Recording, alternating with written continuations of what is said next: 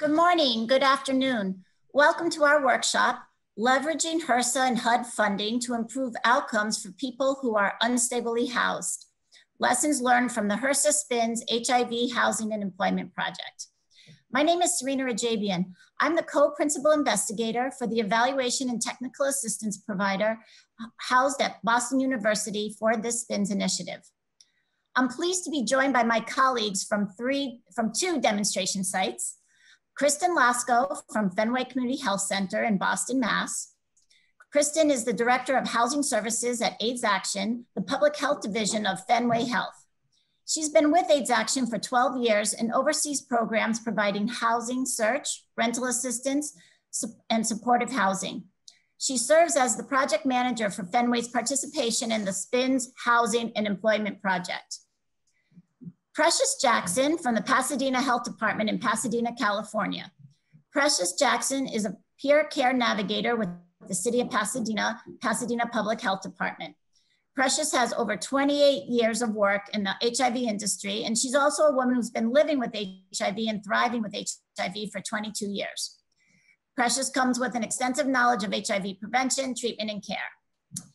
And our other final presenter today is Guadalupe Lupe Martinez, a housing navigator with Union Station Homeless Services in partnership with the public Pasadena Public Health Department. Guadalupe has over four years of working with the homeless population. Next slide, please.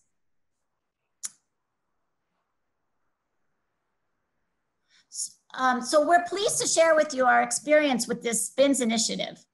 It's an exciting initiative because it's one of the first HRSA initiatives that's examining the impact of social determinants, mainly housing and employment, on people living with HIV and their influence on health outcomes. So today we're going to specifically look at housing and provide our experience with how you can find resources to support people with HIV to address their housing needs. So by the end of the initiative, Uh, by the end of the presentation, we hope that you'll be able to first describe housing resources that can support people with HIV obtain more stable housing. Second, learn strategies to work with HUD programs and Ryan White planning councils and other Ryan White funded programs to leverage resources for people who are unstably housed. And third, share tips for setting up coordinated referral systems between provider agencies to address housing needs. Next slide. So again, this is just the, the name of our initiative. Uh, officially, it's called the Improving HIV Health Outcomes through the Coordination of Supportive Housing and Employment Services that's funded by the Special, it's a Special Projects of National Significance funded through HRSA Part F funding. Next slide. And our goals of the initiative, we have four. First of all, it's to strengthen cross, cross sector collaboration mainly housing, employment, medical, and behavioral health systems. Second, we, we aim to improve housing stability, and that's to obtain and maintain safe, affordable housing options for our clients. Third, to increase employment status for people living with HIV. And we do this through building their skills through vocational rehabilitation programs, education and training programs. We help them achieve temporary and also part and full-time employment. And finally, overall to increase viral suppression. Next slide. So this map shows where our demonstration sites are located and where the intervention models are being implemented. Um, the gray boxes represent the 12 funded demonstration sites, of which you'll hear from two today. But uh, the 12 sites represent three AIDS service organizations, four health departments, and five Ryan White Comprehensive Healthcare and HRSA Health Centers across the country. All these sites are mainly in urban areas and serve predominantly urban populations. Next slide. So the eligibility criteria for our SPINS um, program and who's served by the, the various demonstration sites. First of all, it's adults over the age of 18 years or, old, or older. Um, they also must be living with HIV and meet one of the following criteria that they're either newly diagnosed within the past 12 months, they're not engaged in HIV primary care, meaning they may have fallen out of care, not been seen by a provider in the last um, six months. Um, they could be also at risk of falling out of care. That is, they've missed medical appointments um, in the last six months, or that they're not virally suppressed.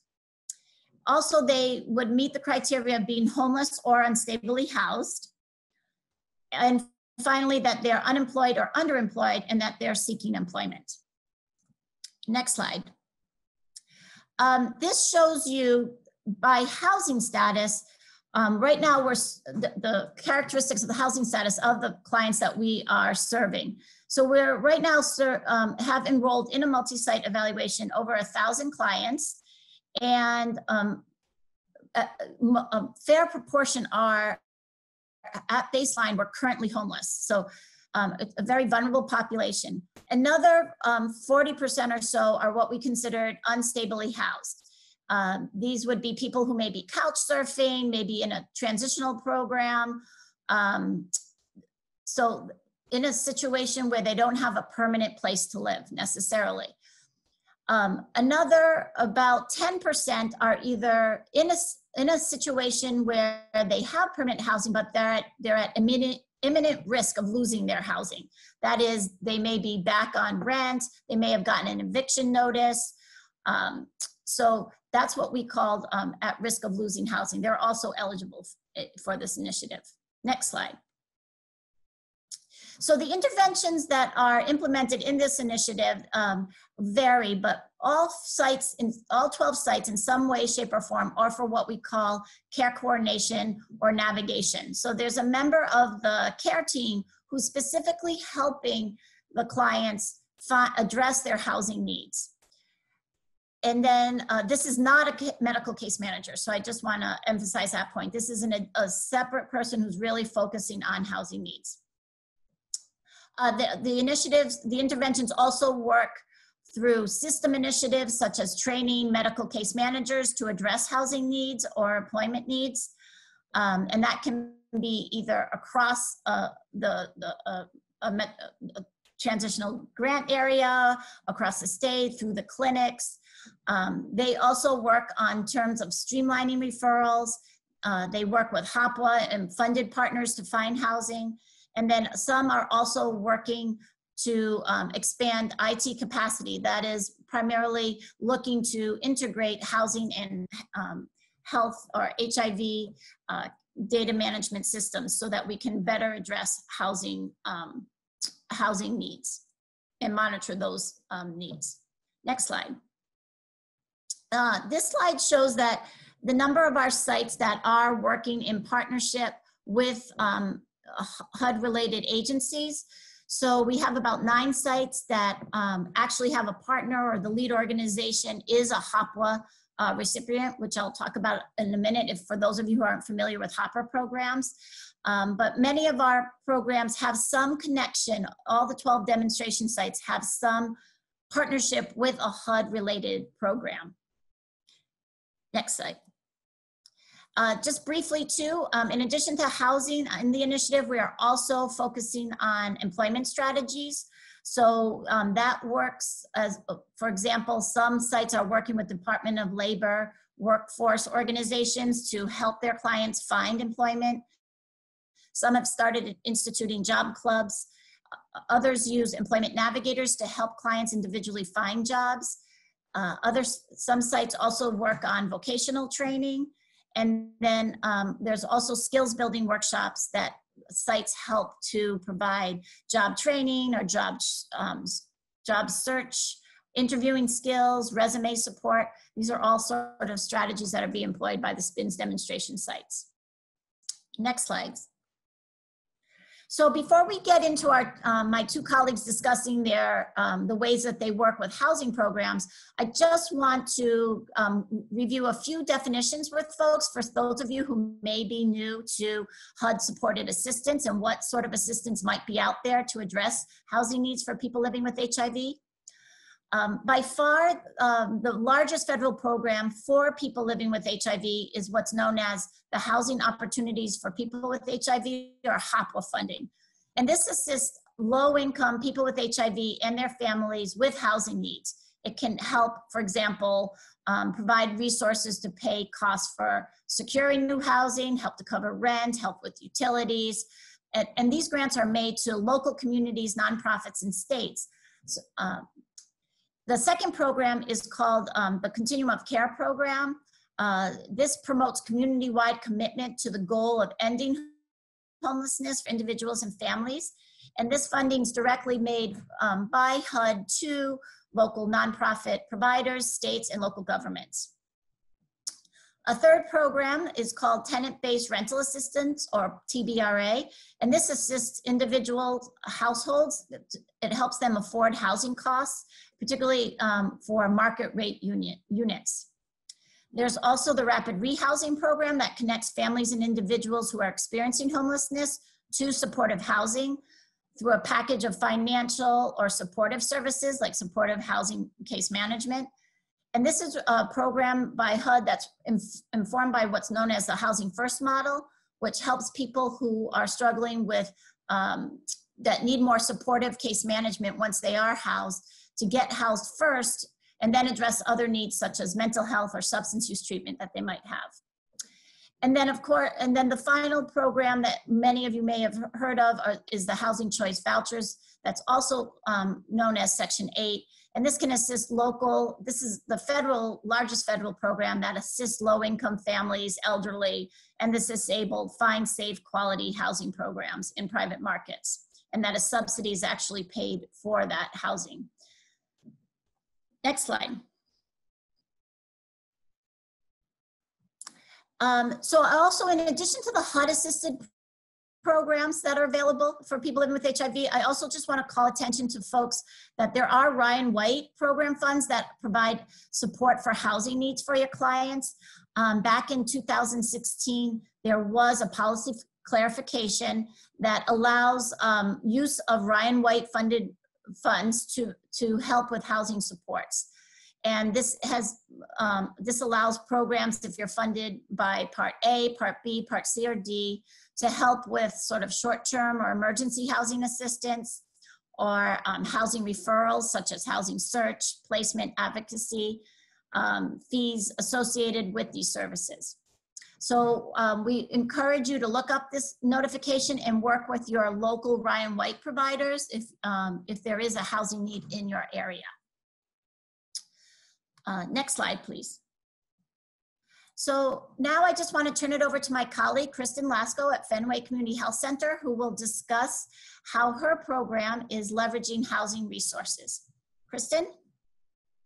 Wonderful. Thank you so much, Serena. Hi, everybody. I'm Kristen Lasco. I'm the Director of Housing Services at AIDS Action Committee. Um, and in the next slide, I'll tell you a little bit about Fenway Community Health Center.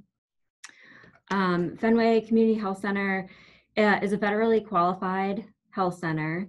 Um, and uh, we're the largest non-hospital provider of uh, medical and behavioral health services to people living with HIV in Massachusetts, and we're a long-time recipient of Ryan White Part A and Part C dollars. Um, in 2013, Fenway Health formed a strategic partnership with AIDS Action Committee, which was the oldest and largest AIDS service organization in New England at the time. Um, and after a five-year partnership, we officially merged together AIDS Action and Fenway Health in 2018.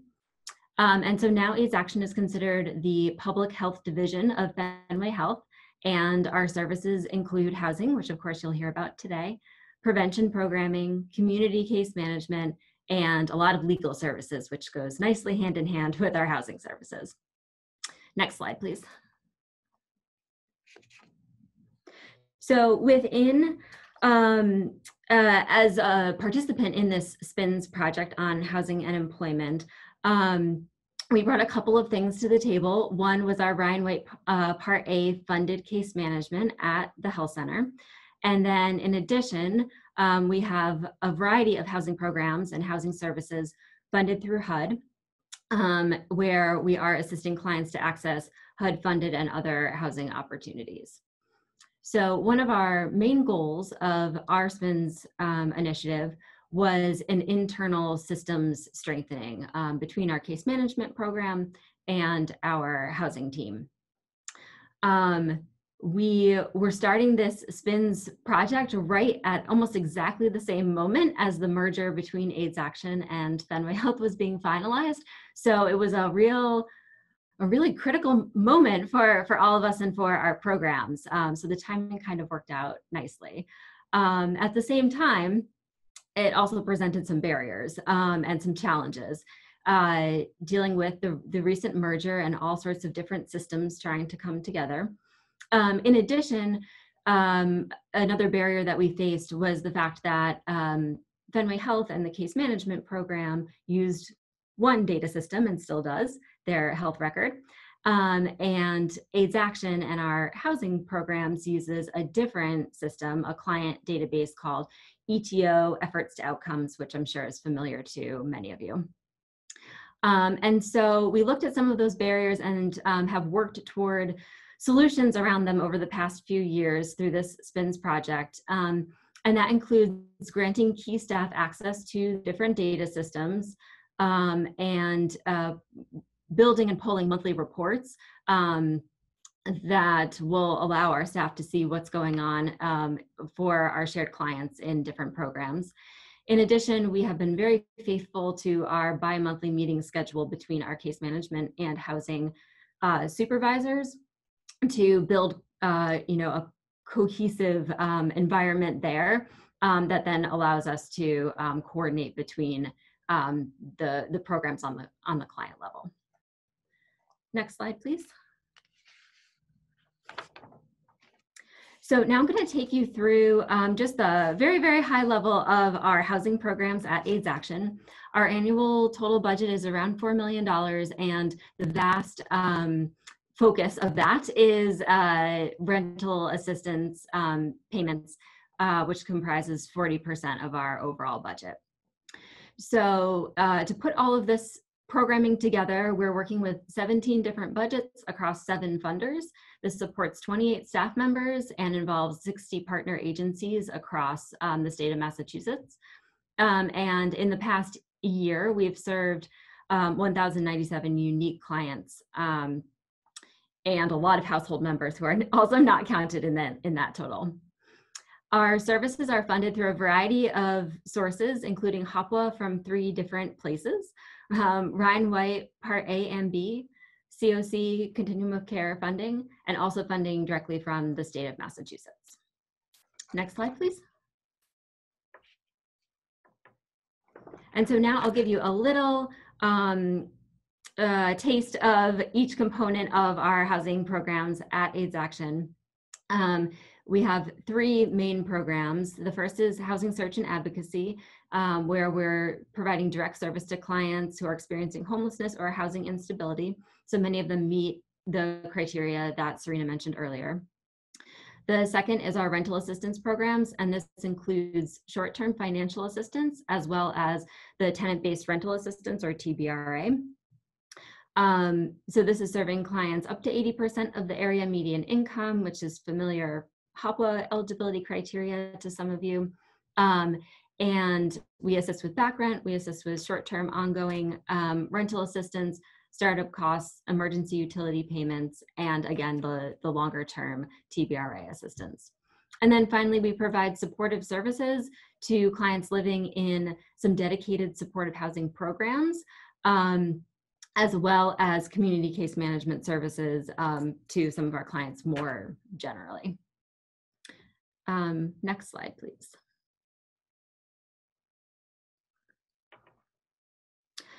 So, um, as I mentioned earlier, we have uh, dozen partner um, agencies across the state of Massachusetts.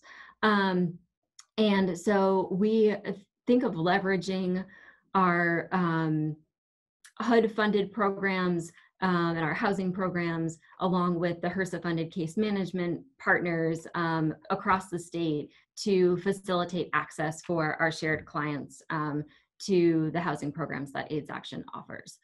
Um, so uh, I think it's important to highlight that the housing programs at AIDS Action are here to serve clients um, who receive their care at Fenway Health and also many, many clients who do not receive their care at Fenway Health. Um, so to kind of paint the picture, uh, only about 9% of our clients in the past year are Fenway Health patients. It's 103, um, and 994 of um, the clients served by AIDS Action's housing programs in the past year actually received their care somewhere else, and it could be anywhere across the state of Massachusetts. Um, so with those numbers in mind, our housing programs clearly rely on partnerships with um, health centers, with hospitals, with other community organizations across the state, um, and to formalize and um, solidify those relationships, we have memorandums of agreement uh, de detailing the referral process to our programs and the expectations for ongoing coordination, both while the client is enrolled with our services and also often um, for assistance with gathering outcomes information after the client um, has been dismissed from um, our services or has completed their time with our program. Um, we have particularly strong relationships with Ryan White um, funded case management services um, all across the state. Um, and we leverage those relationships um, to identify clients who are in need of our housing services um, through the relationships with our with our case management partners. So the case managers know the clients. I'm sure this uh, you know applies to many of you. Um, you're identifying the client's needs, and then the, you're referring the client to um, to the housing services. Um, next slide, please. So on the program level, um, uh, I wanted to talk a little bit about how we're leveraging funds from multiple sources to create a cohesive program. So a really good illustration of this for us is our rental assistance programs and particularly the short-term financial assistance um, that we offer. Uh, so this is startup costs and back rent and things along those lines. So in the past year, we've served 744 households and we do that through four funding sources the Massachusetts Department of Public Health, uh, Hopwa, STROMU, and PHP funding from the City of Boston, Hopwa, STROMU, and PHP funding that covers uh, Middlesex and Essex counties, and the Boston Public Health Commission's Ryan White Part A funding. So different geography, different eligibility criteria, um, different you know data expectations. So we take all that and we put it together and we create a cohesive program with one set of eligibility criteria, one application, um, and one set of expectations across the whole state. Um, and that's really allowed us to um, serve clients across Massachusetts, um, regardless of what their geography means for their eligibility for a particular funder.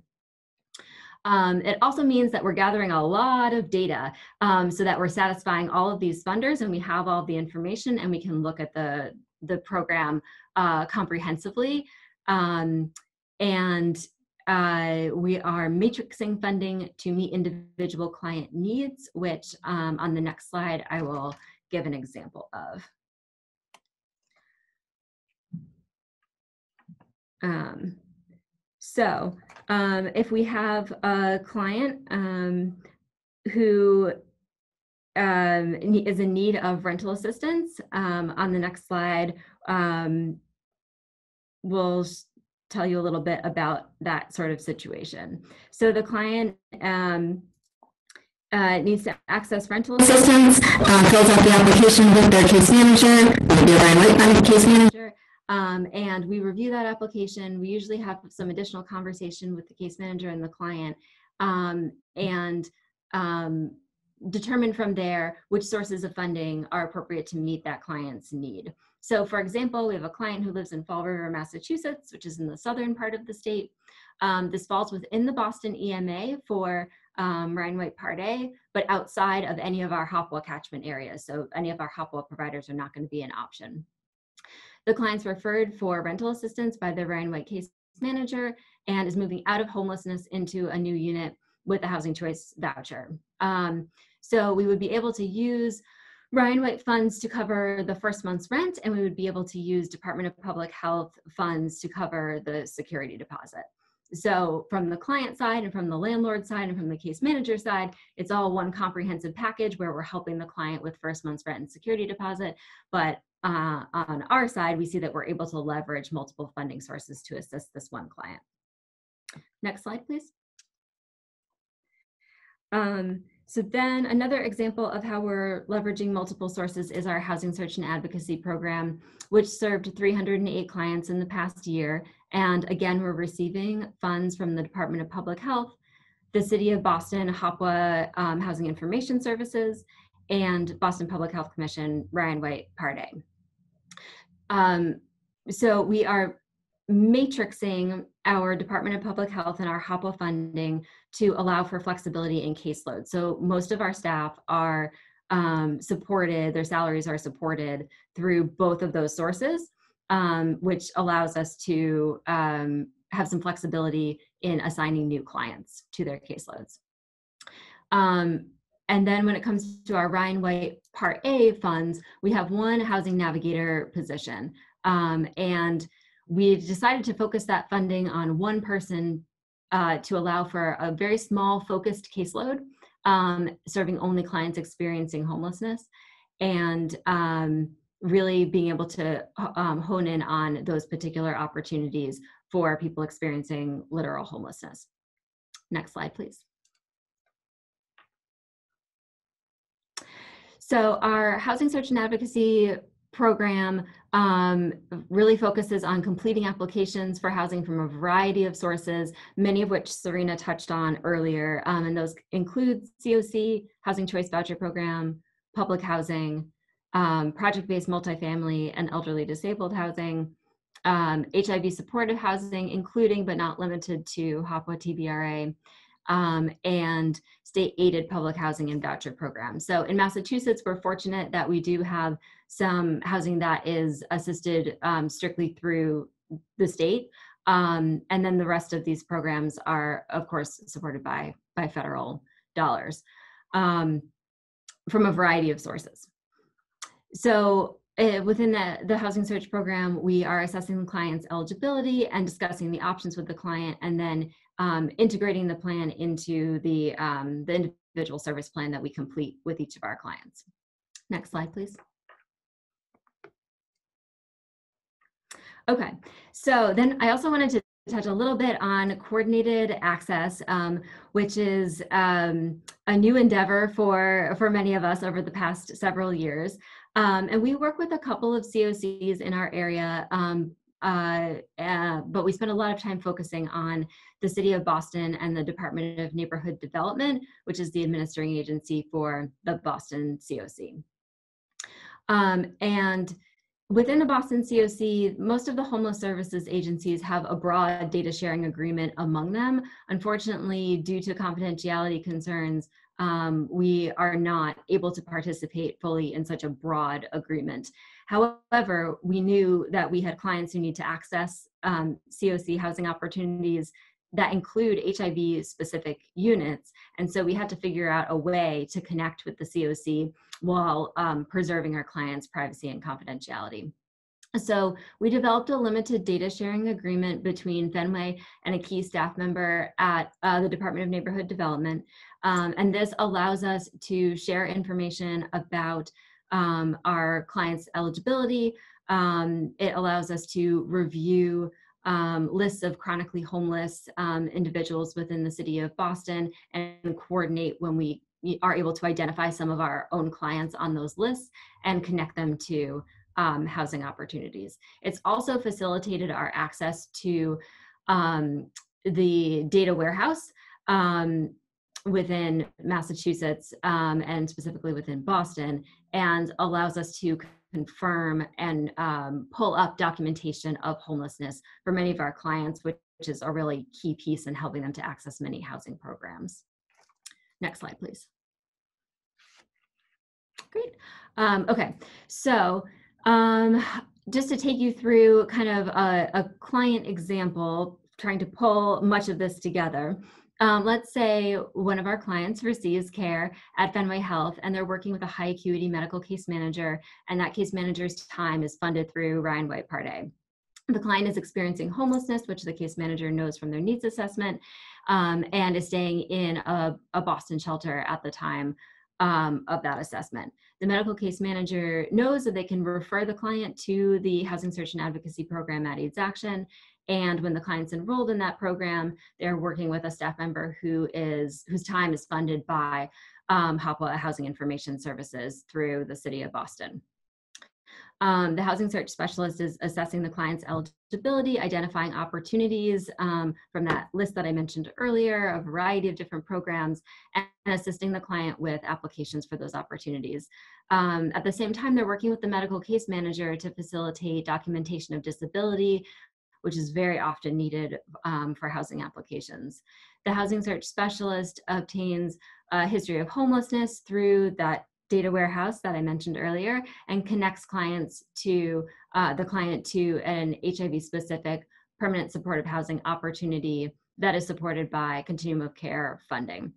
The housing search specialist um, then coordinates the move and ensures that the client is well connected to both PSH services um, and retaining um, connection with the medical case manager who made the initial referral. Next slide, please. Okay, um, and so uh, in these times, we would be remiss if we didn't say a little bit about how COVID 19 um, has impacted uh, so, so many things. Um, and so in, in our area, as I'm sure is true for many of you, um, we've seen a really a significant increase in demand for homelessness prevention assistance, um, and within that, a, a, huge increase in the amount of assistance needed per household um, in order to stabilize their housing situation. Um, many households are new to accessing our programs. We're seeing a lot of referrals for, for new clients. Um, and many of the um, household members, um, sometimes every member of the household, do not have a documented immigration status. Um, so that's really showing up as a trend for us. Um, uh, on a, in a more hopeful way, we're also seeing a lot of opportunities for flexibility, um, including the use of electronic signatures to complete applications for assistance um, and some new funding, um, including through the CARES Act, to support our clients um, to supplement um, our existing programming. Um, and finally, we have unfortunately seen some in increase in the housing instability for our clients who are doubled up um, and uh, couch surfing and delays in inspections for clients looking to get into new units. Um, and we are um, hopeful that we can use some of our CARES Act funding um, in, in flexible and adaptable ways to, um, to alleviate some of those barriers moving forward. Next slide, please. And now it is my pleasure to turn it over to Lupe and Precious to tell us about the wonderful work that they're doing in Pasadena. Okay, I was muted, y'all. Sorry about that. How's everyone doing? My name is Precious, and um, my um, co-worker Lupe and I were going to discuss the wonderful work that we're doing out here on the West Coast in Pasadena. Next slide, please. Okay, so uh, we use the, we utilize the uh, coordinated entry system, uh, which is the acuity score to leverage housing. And so the coordinated entry system uses the acuity scores to prioritize the most vulnerable for housing. Usually um, they have to score 12 and above in order to be um, prioritized. Now, if they're below 12, then um, they're um, sent to a different type of uh, housing, which is mainly like rapid rehousing. Um, also, if the person, if the clients are HIV positive, they're automatically pushed to the top, uh, especially if they've been sleeping out in the elements. Um, uh, so that pushes their priority more higher. Next slide. So um, when we applied for this grant, we were thinking outside the box, and we wanted to partner with a organization um, that did not normally uh, provide HIV services. So we decided that we wanted to partner with Union Station Homeless Services, who traditionally um, don't offer HIV uh, services for their clients, but they may have HIV um, clients, but they just don't have specific programs. So um, we also partner with them because they are the uh, lead agency for the coordinated entry system uh, for service uh, service planning area three, uh, which is the San Gabriel Valley area, uh, and they receive monies from Los Angeles Homeless um, Housing Authority, Los Angeles Homeless Authority, which is LAHSA, and who receive their funding from HUD and any other resources. Lupe, did you want to add anything to that? Do you want to add anything, Lupe? Uh, no, actually, I don't have anything to add at the moment. Okay. Next slide. All right. So um, these are the various uh, housing agencies that we partner with. Uh, Rapid Rehousing, uh, which is also a partner of um, Foothill Unity Center, and they also receive money for HUD and also LAHSA. Uh, we receive, we partner with uh, permanent housing through um, our coordinated entry service, coordinated entry system matcher. Uh, and they, uh, she uh, matches them to the high acuity match voucher units. We also partner with Alliance for Housing and Healing, um, Foothill AIDS Project, which is also HOPWA funded, as well as Alliance for Housing and Healing. And they also do emergency uh, voucher, which is a single residency occupancy. We also have a single room occupancy, which is also uh, funded by the city of Pasadena. And then also um, Foothill Unity Center. So these are the like various programs that Union Station works with. Uh, and this is the reason why we partner with uh, Union Station. Next. All right, so some of the barriers that we have found um, uh, doing this program and working with our clients is clients who have an incarceration history. So clients who have like felonies uh, regarding like sales of illicit drugs, manufacturing meth, or any other, um, or who have a sex offense, uh, it's very, it's been very hard to find um, housing for those individuals. Um, and sometimes the clients they tend to get discouraged because of their because of that particular offense that they may have on their criminal record. So usually for those type of uh, clients, we usually um, encourage them to do shared housing um, with um, uh, shared housing where they have to, uh, where they can split the rent. Um, it's also um, important for clients to inform their housing navigator and or case manager that they have these offenses. Because sometimes um, if they don't then that's when they'll run into the brick wall.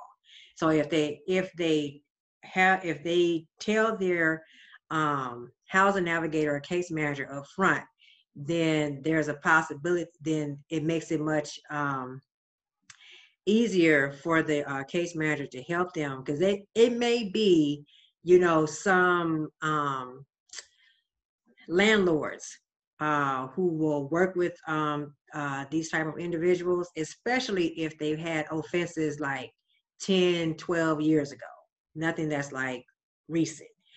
Um, and also the housing navigator can advocate on their behalf, uh, especially if they change their lifestyle. Now, the other barrier is undocumented clients. Um, so we find that resources targeting this population are extremely scarce, especially because if we want to use the uh, government funding uh, for like HOPWA and things like that, it's very hard uh, to um, place them in permanent housing because they have to be documented. Um, and also uh, providing income verification for client can be very challenging as well. Uh, because sometimes they like well most of them well undocumented they're undocumented so a lot of times they may work underneath the table. So they might not have like a, a paycheck stuff anything you want to add lupe?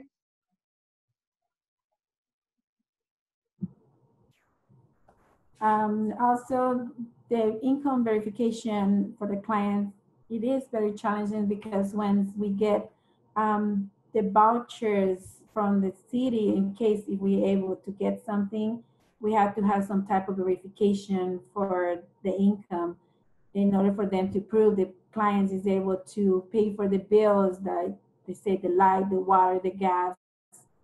That's one of the type of um, barriers that we encounter with our undocumented clients too. Mhm. Okay. Uh, next slide, please. Um, the other challenge is uh, landlords um, not not willing to take the subsidies because they um, they feel that they can they know that they can get more money um, by um, renting for market value um, than getting the uh, monies from subsidies.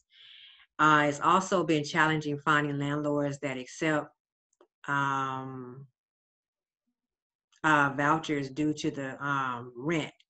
And the landlords don't really like the idea of having to go through the inspection.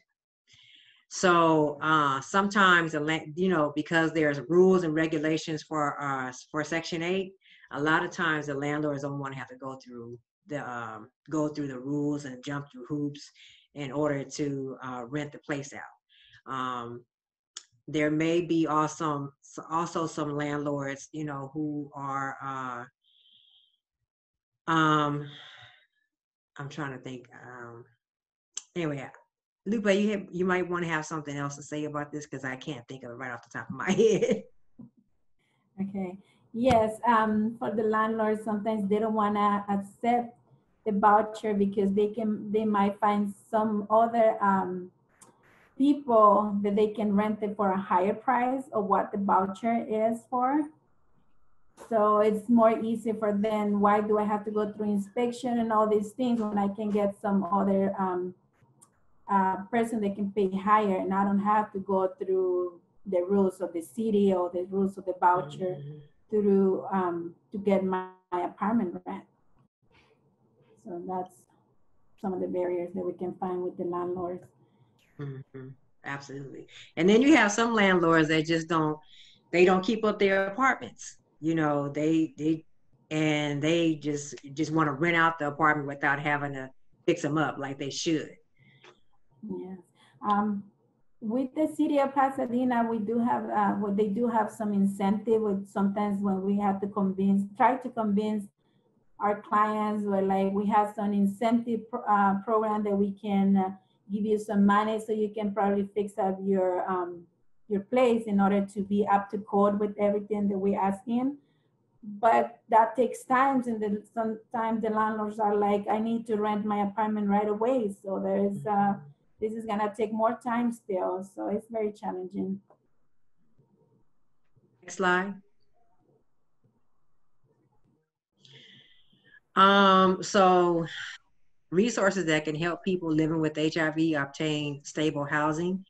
So definitely partnering partnering with agencies who are HOPWA funded, um, agencies who offer rapid rehousing, um, agencies that work with vets as well. Um, that's another um, another resource that's that that can work in your favor.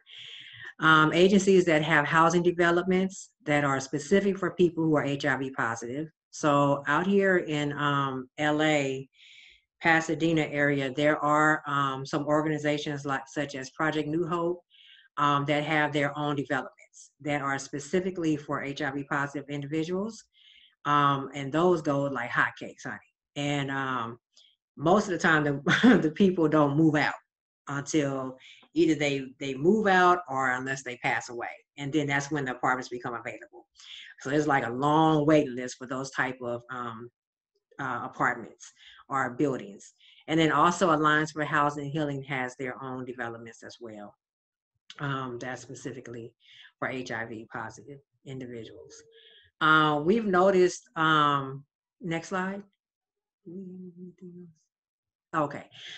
Um, so before I get to this, I wanted to just talk about a little bit about the COVID that's going on. Um, we've noticed that um, uh, so- some of our clients who are still um, homeless, uh, it's really been hard to find um, housing now because um, the, the landlords are not willing to uh, rent. They don't want to. They don't want to. Um, they don't want to like. Uh, if they do have vacancies, they, they really don't want to have to engage with anybody because of you know what's going on. So uh, it's been hard to find um, landlords that's willing to uh, rent out their places that are that may become available. Um, so I have a couple of client cases I want to discuss. Uh, client number one, this particular client has been homeless uh, in Pasadena for like two years, uh, sleeping in the elements. Uh, we linked him to Foothill Unity Center um, maybe like two years ago, but due to his criminal background, um, he didn't find housing right away. Um, and uh, it took about a year. And with the help of his housing navigator, the client and the client working together, finally they was able to find a landlord out in um, Long Beach that was willing to accept his subsidy. And also, of course, he ran his background. And because the background wasn't having to deal with um, manufacturing any type of drugs, it had to do with like uh, possession. Um, the client, the landlord was willing to work with him. And so the client is currently housed and uh, as of May of 2020. And um, the client had been challenging um, as well because um, while he was homeless, he didn't keep up with his uh, doctor's appointments and things like that. So, but now since he's gotten back housed, he's he's on a roll again. He's keep he's keeping uh, engaging in his uh, uh, mental health as well as as in his HIV care. So I'm really proud of him. Next slide. Um, Lupe, you want to talk about this client?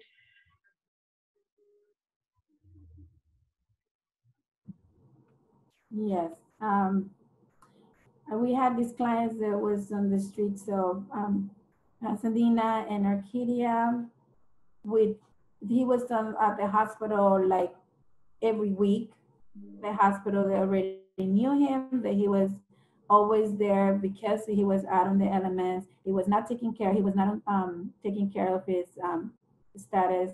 He was not taking his medicine. So he was like every week at the hospital. So we were we were able to get connected to him. Um, we worked on getting his um, income back, his SSI. Uh, we were able to refer him to an SRO, and I was able to put him um, in the SRO right away. Not right away, but I mean, a few, in a few months. Uh, while he was getting back on care, while he was getting back um, his income. Now the client has been at the Centennial Place in Pasadena for the last um, year, year and a half, I believe. Mm-hmm. Um, he's doing really well. He is back on care. Uh, so um, he's doing really well with this program and he was able to get into house through this program. Um, so he was really thankful for that, this program that we were able to connect him to. Um, so, um, so the next client um, is funny because she was my client when I used to work at Women Alive. Like, oh my God, 17 years ago.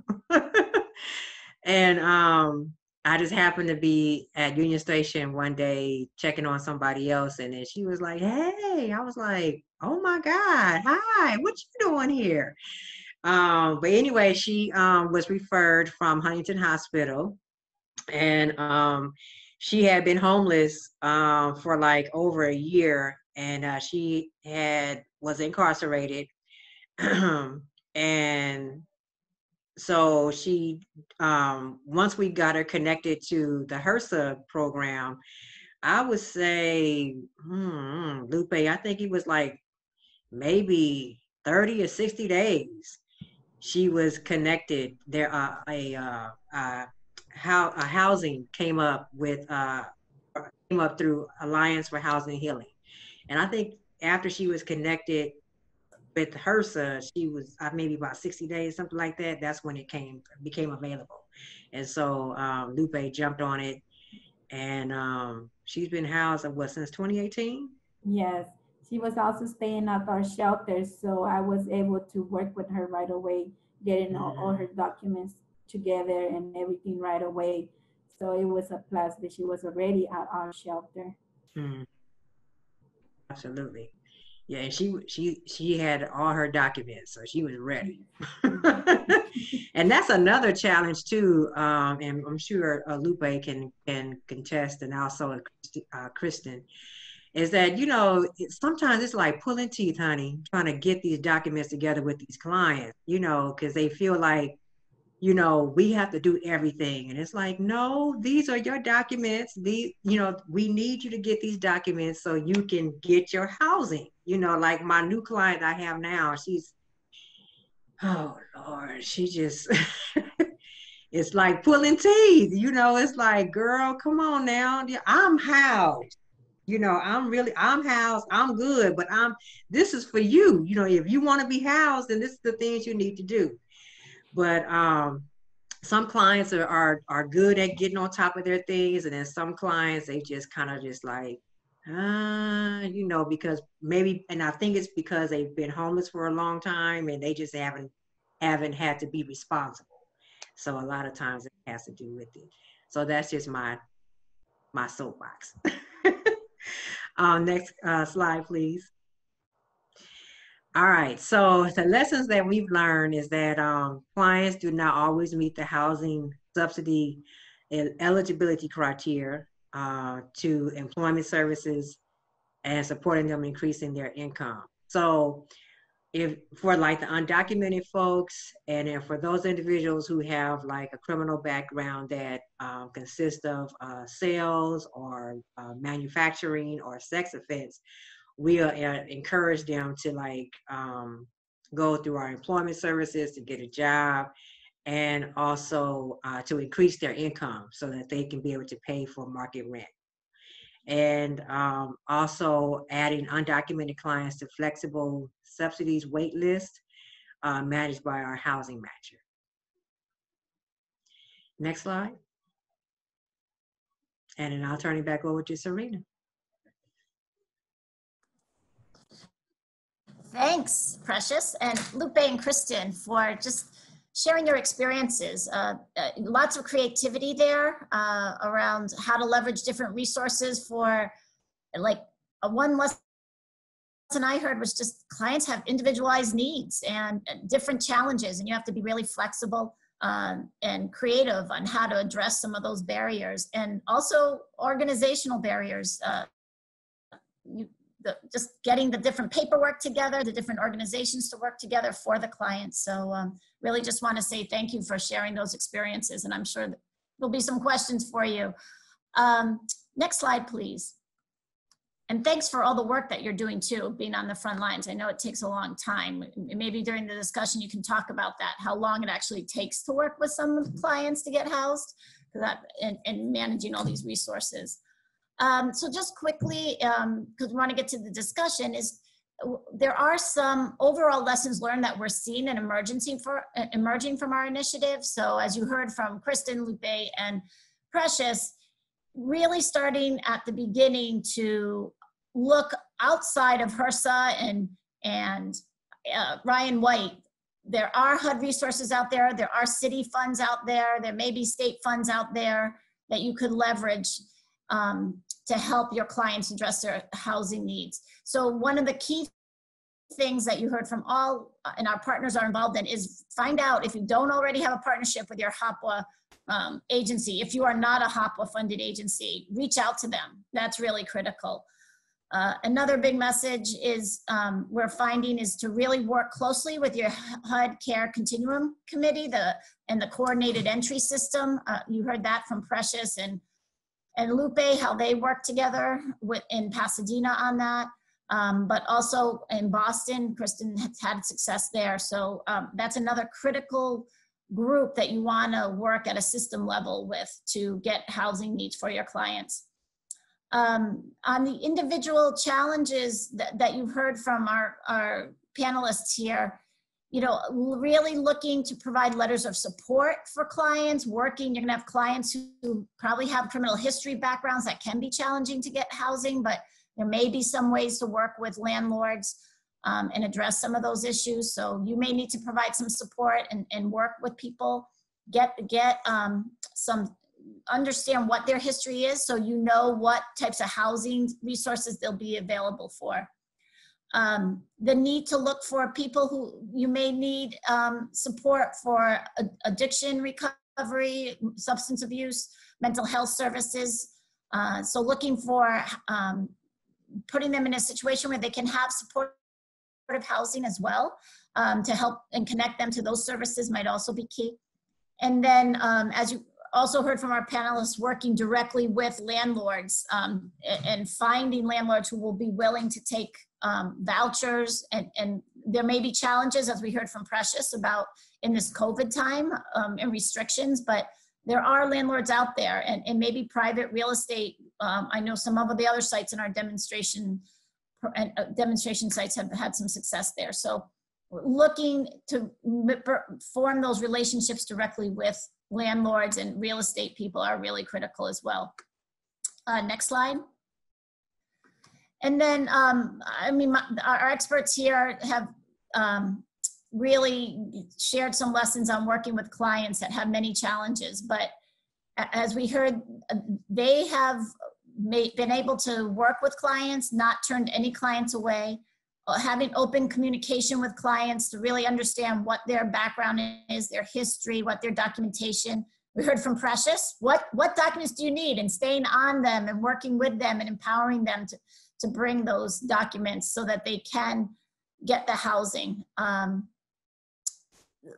you may need to do some work with agencies um, about housing first um, and work with clients where an appropriate housing might be for them. Uh, Lupe and uh, Precious talked about um, clients who maybe not be documented and that there's limited supportive um, federal resources for them, but looking at models of shared housing, looking at what they can afford and finding um, appropriate shared housing for them so that they can pay that, um, pay rent as needed. Um, holding clients accountability and, and following up with them to make sure that they are paying their rent, that they are getting, if they need additional assistance, that they're filing the paperwork that's needed um, is important. Um, and, and finding and, and establishing reasonable expectations for clients. What can they do in that uh, period? What resources do they have? Um, are they ready to be housed? Some might not be ready to go into a permanent housing situation. So um, in the discussion, we can talk a little bit more about that, about how long it might take, particularly people who've come from a history of chronic homelessness. It might be harder to get them into uh, and ready for a housing and living on their own because it's a different way of being and, and that might need to take time. So um, these are some of the things we've heard so far. Um, next slide, please. Um, we have some other, um, th- at the bottom of this screen, we have a link here for to our website where we're sharing resources about our SPNS initiative um, that you can take a look and, and get more information there. Uh, right now, I just want to thank you and thank our panelists for sharing all their great um, experience. We will now, um, this is our contact information. So if you want to reach out and get some more specific questions from either Kristen, Precious, Guadalupe about their, how they're working in their areas and get advice, or if you want to uh, write to me about our initiative, happy to do that as well. Um, we will now, um, next slide, I think there's one more. We'll now move into our live discussion and question sections um, for any further questions that uh, you may all may have for our panelists. Thanks so much for your time.